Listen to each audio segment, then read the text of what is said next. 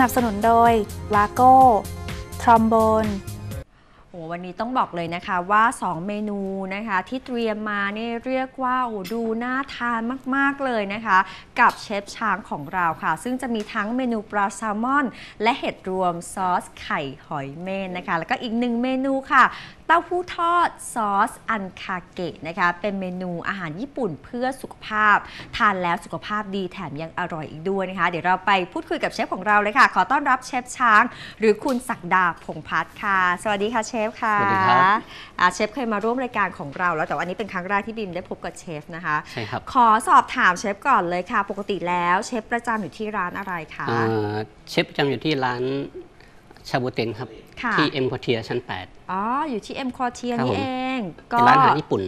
เชฟก็ถนัดเลยในเรื่องของอาหารญี่ปุ่นใช่ไหมใช่ครัคะบวันนี้ก็เลยจะมาโชว์เมนูนะคะ อาหารญี่ปุ่นให้เราได้ชมกันด้วย เป็นอาหารญี่ปุ่นเพื่อสุขภาพอ่าทานแล้วจะได้อายุยืนเหมือนคนญี่ปุ่นนะครัคะบผมเรามาดูที่เมนูแรกกันก่อนเลยค่ะสำหรับปลาแซลมอนและเห็ดรวมซอสไข่หอยเม่นนะคะ วัตถุดิบที่เราใช้มีอะไรบ้างคะเชฟ ดูครับแบบผมไม่ได้เยอะมากเนาะ วันวันนี้อืมนำเสนอเมนูเอ่อค่ะอยู่ที่ร้านนะครับค่ะ ปลาซับปลาแซลมอนนี่กับซอสหอยเม่นนะคคืรัอบมีที่ร้านด้วยคือถ้าเกิดใช่ว่าครับไปที่เอ็มควอเทียชั้น 8 ก็ใช่ครับได้ทานด้วยนะคะครับผมอ่าก็จะวัตถุดิบมีวันนี้ก็จะมีแซลมอน 100 กรัมนะคค่ะรับอันนี้สำหรับหนึ่งท่านสำหรับทานหนึ่งเมนูนะครับค่ะก็จะมีเห็ดรวม อันนี้เห็ดรวมก็นอกจะมีจากแซลมอนแล้วก็จะมีเห็ดรวม มีเห็ดครับผมอะไรบ้างคะเชฟคะก็นี่จะมีอ่าอัเห็นดนี้ก่อนเลยชิมชิเมจิอันนี้เห็ดหอมแล้วก็อันนี้เห็ดอิโนกิค่ะ เอาเป็นภาษาไทย ได้ไหมคะอ่าภาษาไทยอันมีนี้ไหมคะเห็ดหรือไม่เข็มทองเห็ดเข็มทองใช่ครับอ่าเห็ดง่ายหอมๆอ่าเห็ดหอมนี่อันนี้เห็ดหอมนะครัคะบผมแล้วก็อันนี้อันนี้อออะไรนะอะไรอะออออเอ้ยไม่ใช่ออรินจิเดี๋ยวนะ อันนี้ใช่ป่ะคะใช่ออรินจิชิเมจิปะะครับชิเมจิครับผมนะคะคล้ายๆออรินจินะครับแต่ว่าเนี่ยในอาหารญี่ปุ่นเราจะเห็นเห็ดจำพวกใช่นี้แหละค่ะ เยอะมากเลยจริงๆแล้วพวกเห็ดเหล่านี้ค่ะเขามีประโยชน์มากเลยใช่ไหมคะใช่เชครับฟ ทานแล้วมันดีต่อสุขภาพไงเพราะจะเห็นเมนูอาหารญี่ปุ่นนะมันจะมีเห็ดเต็มไปหมดเลยก็มันมันให้พลังงานของให้พร่างลังกายด้วยนะงานนะคะครับผมและที่สำคัญไม่อ้วนด้วยใช่ครับอะนอกจากเห็ดรวมแล้วเราก็อันนี้จะมีอะไรคะอ่าเนี่ยเป็นเนยครับเนยเนจืดยคเนรับยผมเป็นเนยเนยจืดนะคะครับผมนี่อะแล้วก็ตามมาด้วย อันนี้ซอสไข่หอยเม่นนะครับซอสไข่สูตรหอยสูตรของทางร้านครับผม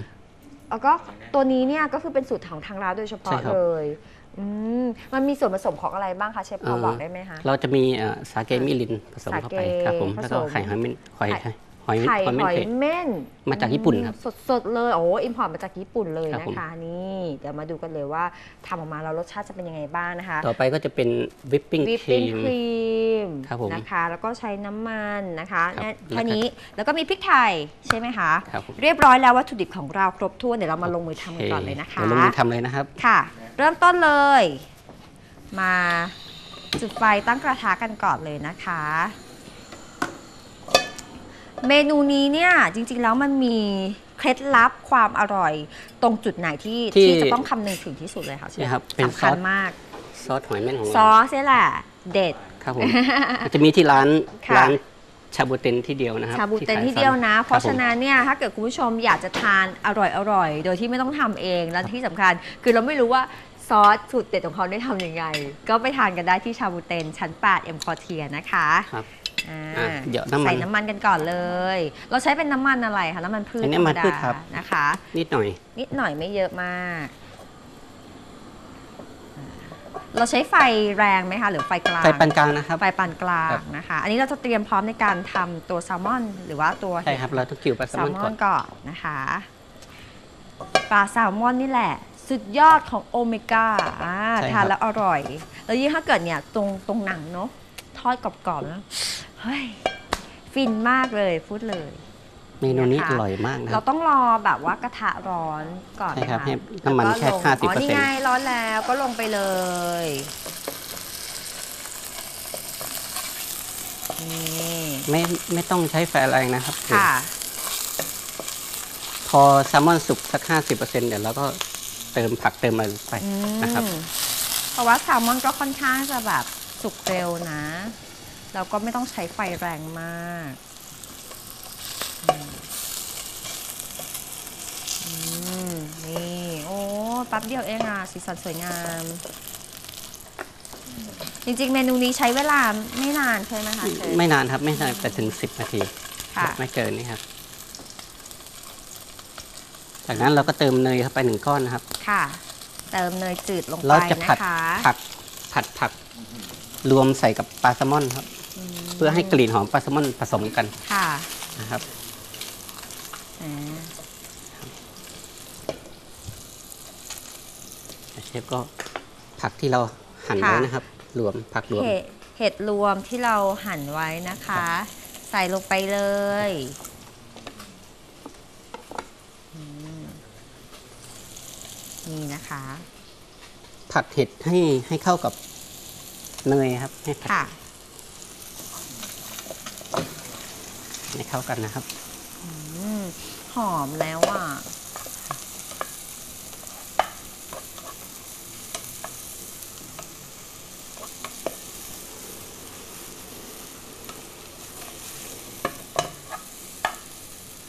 นี่นะคะ เราต้องระวังในเรื่องของไฟด้วยใช่ไหมใช่ครับ ไฟต้องต้องให้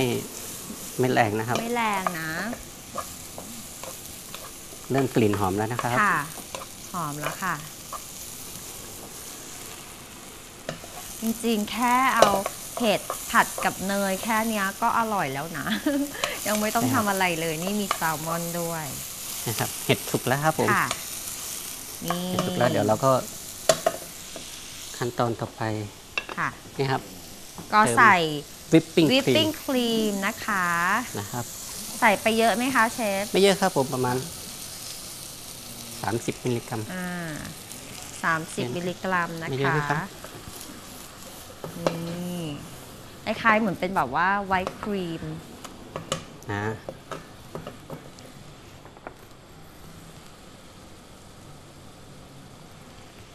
ค่ะ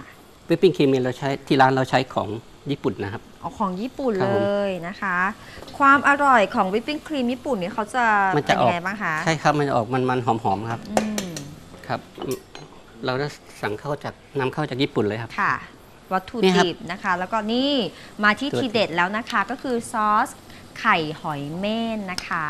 ครับผมใส่ลงไปเลย ตัวซอสไข่หอยเม่นเนี่ยเขาจะให้รสชาติยังไงบ้างคะเชฟ ออกเอ่อ กลิ่นออกมันๆหอมๆครับค่ะ ครับเป็นหอยเม่นหอยเม่นที่ดำๆนะครับแถวข้าค่ะวสีเหมือนซอสพริกแต่ไม่ใช่นะคุณผู้ชมไม่ใช่ครับ ไม่ได้เป็นเผ็ดอย่างนั้นนะคะอ่าครับนี่คลุกเอ่อปลาแซลมอนให้เข้ากับหอยนะค่ะครับว้าวนี่ถ้าเกิดว่าเป็นวินทำคงหกไปแล้วเมื่อกี้นี่นะคะโอ้สีสันน่ารับประทานมาก ๆ เลยค่ะ นี่ เกมที่ขอเติมวิปปิ้งค่ะครีมสัดส่วนระหว่างวิปปิ้งครีมกับตัวซอสไข่หอยเม่นเอ่อค่ะวิปปิ้งครีมจะเยอะกว่าหน่อยหนึ่งครับ ค่ะครับผม อืมนี่นะคะ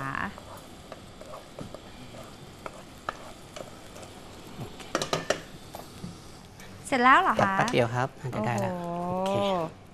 เครวดเร็วมากเดี๋เลยวเชฟจะยใส่ถ้วยเลยนะ ค่ะ จัด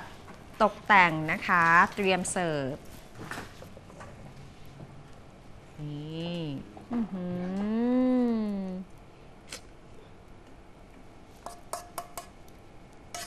โอ้โห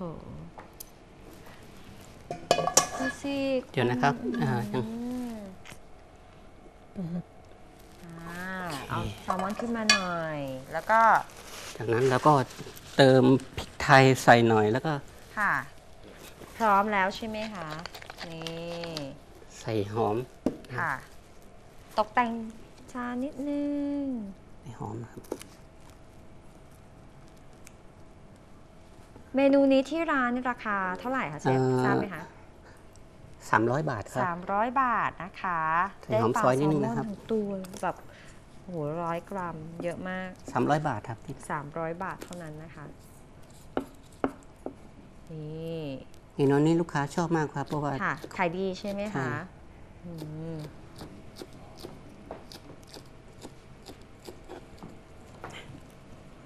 อะเชฟไม่ก็ยากจะไม่โรยากยลงไปเลย นี่นะคะ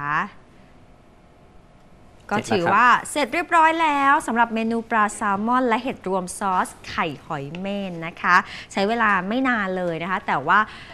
เขาเรียกว่าจุดเด่น แล้วก็เป็นสูตรเคล็ดลับความอร่อยอยู่ที่ซอสไข่หอยเม่นนั่นเองค่ะ แต่ว่ายังมีอีกหนึ่งเมนูรออยู่นะคะใช่ครับในเบรกหน้าของเราก็คือเต้าหู้ทอด